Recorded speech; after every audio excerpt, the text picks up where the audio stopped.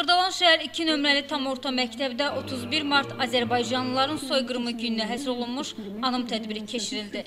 Tədbirə Azərbaycan himninin oxunması ilə start verildi. Bildirildi ki, 1918-ci il martın 30-u Gecə saatlarında erməni daşnaqları tərəfindən Bakıda başlanan kütləvi qırğınlar 20 minə yaxın günahsız insanın, o cümlədən çoxlu sayda qoca, qadın və uşağın öldürülməsi ilə nəticələnib. Aprelin 2-nədək davam edən kütləvi qırğınlarda Stepan Şamyanın rəhbərlik etdiyi erməni bolşevik dəstələri Bakıda minlərlə insanı qətlə yetirib, müsəlman ziyarətgahlarını yandırıb, Azərbaycanlıların əmlakları talan edilib. Təzəpir məscidi aramsız top atəşinə tutulub.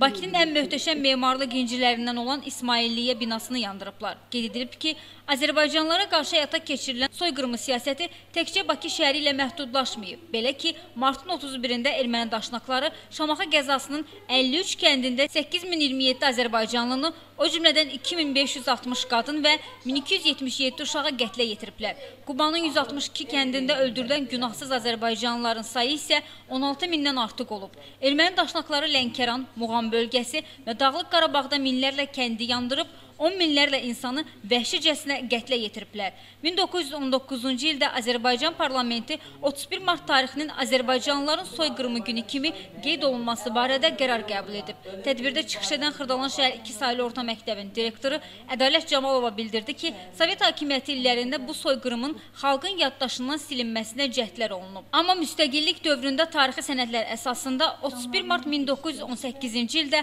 Azərbaycan xalqının başına gətirilən faciəvi hadisələrlə bağlı çoxsaylı araşdırmalar aparılıb.